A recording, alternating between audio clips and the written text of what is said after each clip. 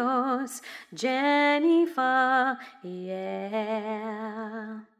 One happy birthday dot com.